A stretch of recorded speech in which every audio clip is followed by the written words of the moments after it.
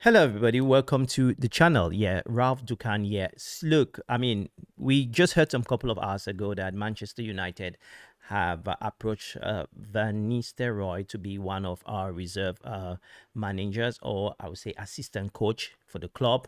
But even though we could we could be happy with that, we can be more happy than hearing that United have added another quality signing into the list in the name of Rene Hake. So I've been having a question here on our Facebook group. I've been having uh, some questions from friends. Who is Rene Hake? So in this video, I want to tell you guys, give you guys my overview about this coach and give you guys a reason why I think Manchester United went for this choice. So Rene Hake is a guy who actually is a Dutch international. Um, you know, I mean, born 1971, that's not very important, but he's a Dutch former Dutch professional football player, someone who has uh, uh, worked with uh, with Erik Ten Hag. They have a friendly relationship. They are mostly uh, considered uh, like they have a, a, similar system of approach in terms of football. Look, for the past couple of uh, the past two years in Manchester United, one of the biggest criticism we've had with Ten Hag is his man skills. You know, man to man skills. I just think Erik Ten Hag could be a very bad salesperson, to be honest, because he's very blunt and straightforward. It's like, buy me this cake, take this cake. I mean, he's very uh, honest, which is good in life, but in business, you need to get that charisma, just like someone like Pochettino. But anyway, uh, or Jose Mourinho, that's a good uh, example. Yeah, so we have been told uh, that um, this guy, which I don't know, and most people don't know, but I've done some research about him. Uh, uh, Rene. Um, by the way, I don't know why many Rene's. This is the second Rene. Rene, Rene Romantsov used to coach. Be uh, he used to be Sir Alex Ferguson uh, Romantsov. Rene Romantsov, if I'm not making a mistake, used to be Sir Alex Ferguson's uh, uh, assistant. But anyway, Rene Hake will be Ten Hag's uh, assistant, one of them. And one of the reasons he's coming here is because of his personality. He does understand also the way Ten Hag wants to play. They have, um, they have, as I said, he had he a similar way of play. And what is his credentials? This is a guy who has coached a lot of clubs. So, you know, he is well known with the youth team. That gives you an idea what, say, Jim Ratcliffe wants to do. Um, uh, guys, and so he started from the MM, went through 20, that's the youths to the under 19 to under 21s. He has done 20 and been an assist uh, manager also. And uh, he has also traveled, uh, he has also, sorry, uh, coached um, Entrich Ontrich. If we do have Dutch here, you should help me out with this one. Ontrich. And but the best year he has had, he brought uh, up a team Go Ahead Eagles uh, to a European competition, which is really fantastic. I said this casually on our stream today. And guy, by the way, join us every 10 a.m. Yeah, we do stream here in the United Way TV. And um, so um, he has come to join the team of staff of Dutch player, Dutch former players or Dutch specialists and I think the, the, the the vision for Manchester United is to have a particular style of play. One of the reasons why most of you wanted Ten Hag over Pochettino, I mean in the first year, is because of the way Ajax played that season. And you have someone like um, uh, Rene who he will be the guy to really impose the playing style.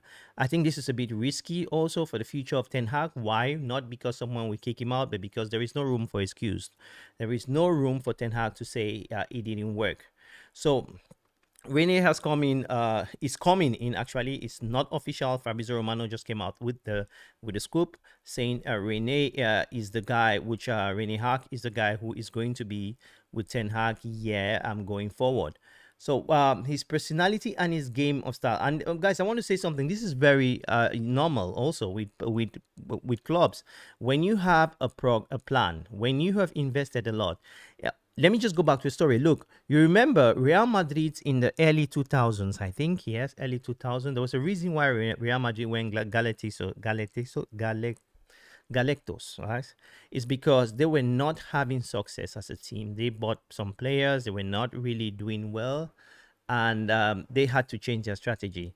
It's just something similar on Manchester United. We have tried, we've brought a lot of managers, a lot of players, but there is something which has been discovered, and this is by Ralf Rangnick, is the thing which has been discovered is Manchester United' biggest problem was not an individual was the culture. I think what we are changing in United, the Ineos are trying to change mostly, is the culture of the team. Some of you came on our live, you noted that uh, um, that that point. If we can change the culture of the team and have players who want to play for us, who wants to make a name and earn some good paycheck, I think no team will compete with Manchester United in the Premier League. That is what, I, what I've seen. And for us to do that, we need to back the manager. All of you have come out and said something similar. Back the manager. And and I think um, Ineos has come out and um, to move to that direction. Look, I did a poll in our stream today morning asking you guys. Most of you went with the fact that uh, you are kind of admiring or you are appreciating the direction in which Ineos is taking Manchester United. It's not that everything is simple. We will have tough days in future. We will lose games, but um, we, we, we wouldn't say they didn't make an effort. So coming back to Rene, Rene will be working with United. I mean, as as soon as possible because uh, his contract, uh, everything will be official in a couple of hours. But what I want to say is, I think the bringing of this guy and Van Nistelrooy, someone with a very good history in regards to Manchester United, and also someone who is also uh, someone that will bring that respect of his what of his credentials in Manchester United dressing room, will obviously switch off the player power that will have in Manchester United. United, all the Maguires, all the McTominays, all the the uh, Marcus Rashford, if he stays, all those attitudes will need to reckon with the fact that Manchester United now is a different environment. We don't want to listen to questions to those uh, cr crying behind the press that players are, are training in the evening when the results are not good, that we are running too much. I think this guy, one of his biggest uh, um, quality, which is his man management, really, but I think all I think he is going to bring in also that disciplinary way in a very. I, I mean, what I'm trying to say is he, he will have that. He will bring in that soft power that is needed, and um, yeah. So I would love to hear your view about this player. If there we do have people who have uh, watched this guy's teams play, but since our since we were they have been talking about him, they have said he is playing. He has playing. He he understand. He plays the Ajax way of playing of football, which is really high pressing and that high pressing must give you an idea of why Manchester United are going for young players. I think Manchester United approach next season will be very intensive. This is why I think we will have to take, we will have to accept to take a cut of price or certain players who cannot match that system. We don't have a lot of time. Ineos will have maximum three years to be to, to get results. I'm not saying that we will next season we're, going to win something, but I think in the next three years we have to build a team that in the next three years we are talking about Manchester United um, winning things in the Premier League here in the UK.